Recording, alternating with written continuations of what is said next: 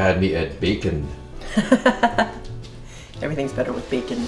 Yep. We're making potato leek and bacon soup tonight. I'm just gonna open up my bacon. And you're probably right. I should have used scissors. It's okay. Really? You're just gonna like rip it open? Ta-da! Wow, so strong. Or just use a knife. Just use a knife. I have 375 grams of bacon. That's probably approximately three quarters of a pound. If you used a pound of bacon, that would be fine, I think.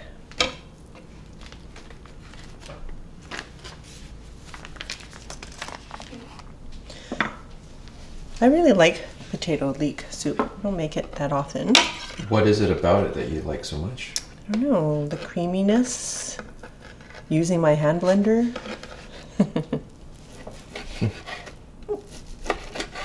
So I'm just going to cut up the bacon into small pieces. All right, we're turning on the saute mode on our pressure cooker here, and I'm adjusting it to, This is this adjust? Can't see the Uh, no. buttons. That's No. steam. Where's the adjust button? Oh, here. Two more. So basically, we're just making bacon bits because we will use this on garnish for the top. The pot is finally hot. I'm gonna add my bacon. And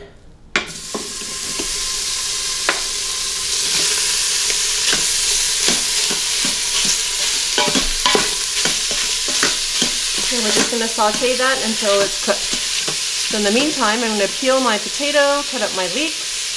All right, so I'm going to cut up my leek to wash. I don't know if you can see, but on the inside, uh, there's a lot of sand and dirt. Look at that, so gross, right? Um, so you need to be able to wash the leeks inside. So what I'm gonna do is slice it down the middle, and you only wanna use the white to the light green part of a leek.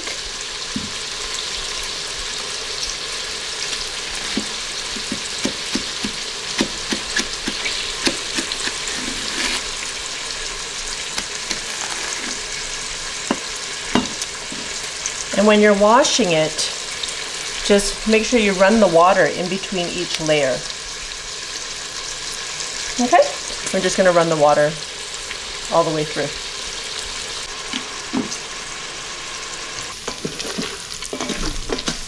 How are we doing with the bacon? Almost done. So I'm gonna slice up my leeks. I had about two pounds of leek,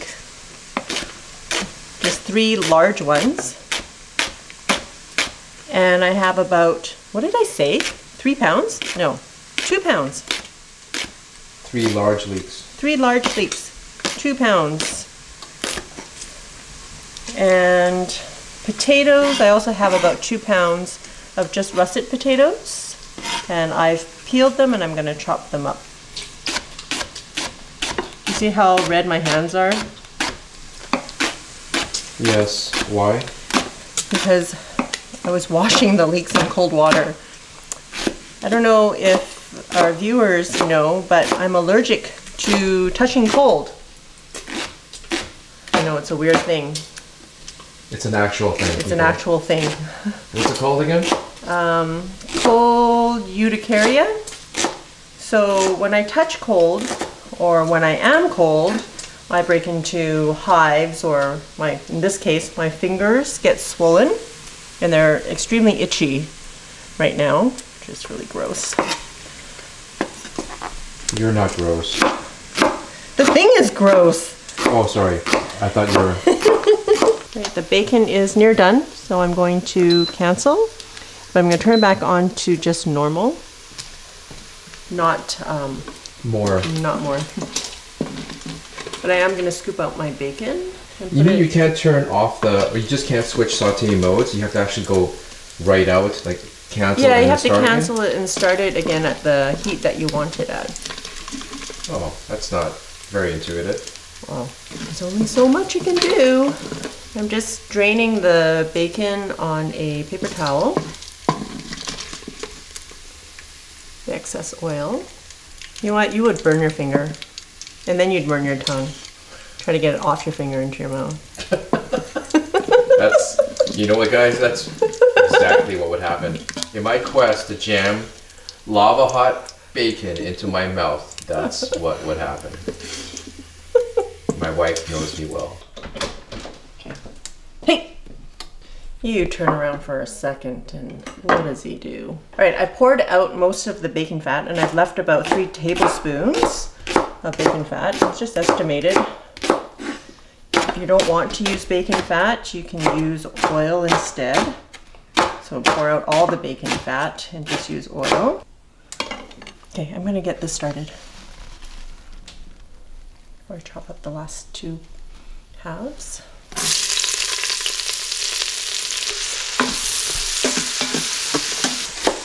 I think we need one of those signs above the area, the, the studio here that says 365 days without injuries with the knife.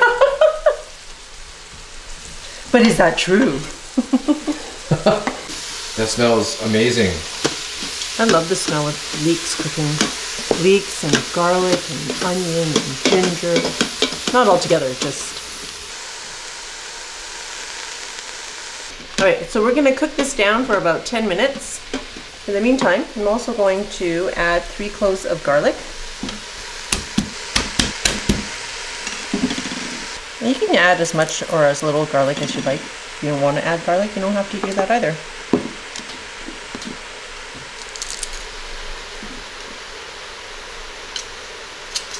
I'm just gonna chop up my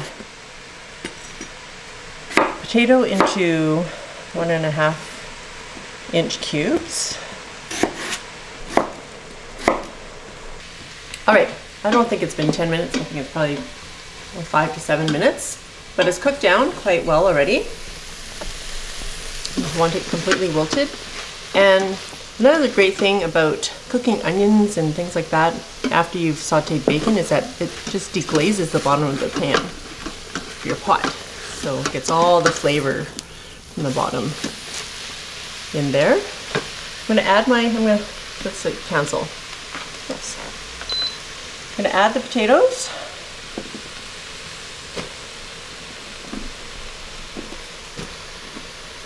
Have a few sprigs of thyme. That's probably about three or four sprigs of thyme.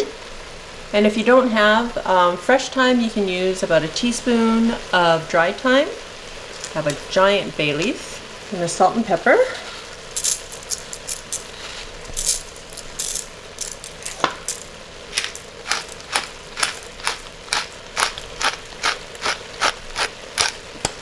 I don't know, like a teaspoon of salt and um, a couple of grinds of pepper. And I'm going to add about six cups of chicken broth. If you have fresh chicken broth or homemade chicken broth. Hey, aren't you gonna pour it the other way where it's like Oh, so it doesn't glug glug glug? glug glug glug? Yeah. Apparently that's the way to do it. Does it still glug? It does, but not as much. But then you get to this point, and then it's like, well, what do you do with the rest of it? Oh, true. it still glugs. So that was four cups. Each one of these Tetra Paks is about a liter. A liter is four cups. So I'm just going to estimate.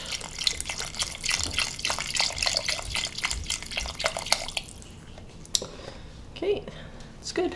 And of course, I don't have my lid. We'll be right back. Got it. Putting on the lid. I still can't do it backwards. There we go. Making sure the sealing knob is on sealing. And we're just going to cook this for 10 minutes. So I'm just going to use manual and bring it down to 10 minutes.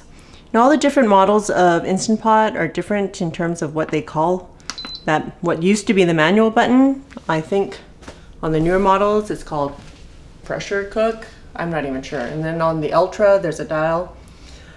Um, whatever it is to set your pot for 10 minutes on manual, no, 10 minutes on high pressure. That's what you want. So here's a little tip for you all. I often keep my parsley and cilantro in uh, water as if I would keep fresh flowers. And I do find that they last longer when you do that. And I don't even have to store them in the fridge. Um, just change the water every other day and um, just so that the water doesn't go gunky. And try to keep the leaves out of the water because the leaves are what makes the water um, murky. I'm just chopping up some Italian parsley for our garnish after.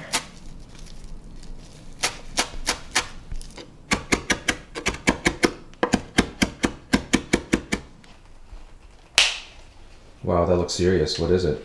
it's my hand blender. Do you think that should be good enough? Oh yeah, that'll reach the don't think- bottom. All right. Let's see if um, I can. Oh, is it gonna this. splutter? I hope not. Because I'm gonna stand way back here.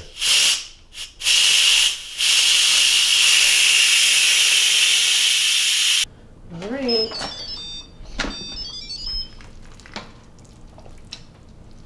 Ooh, it looks yummy.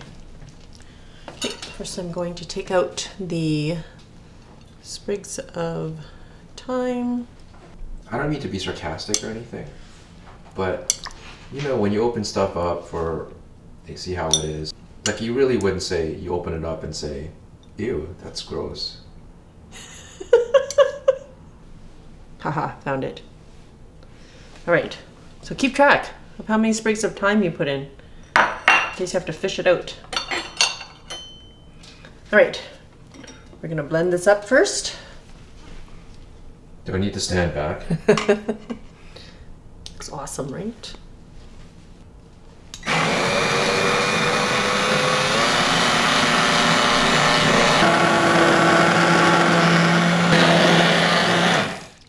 All right, I think that's good.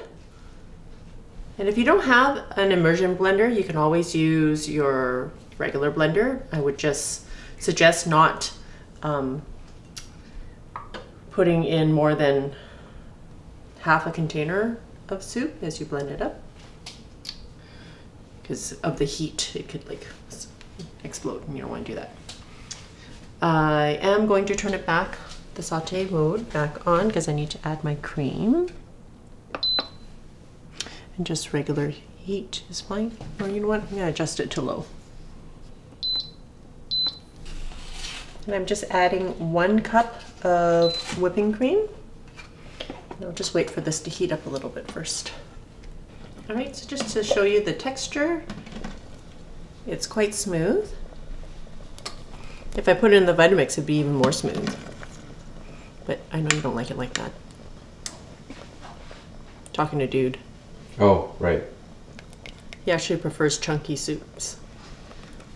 I do because it's more quote unquote rustic. Yeah, well, this is very French and French.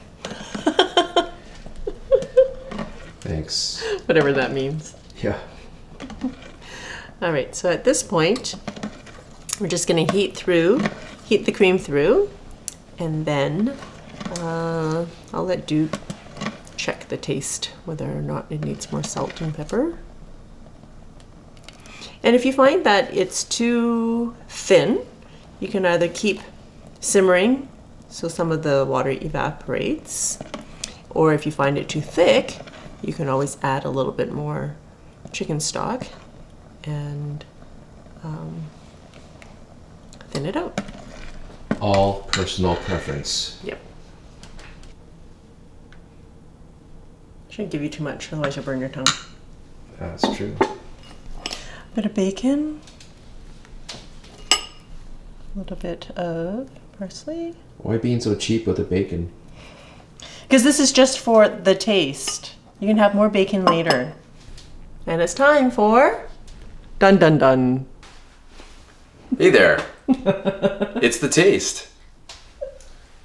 You look so proper, but you're not.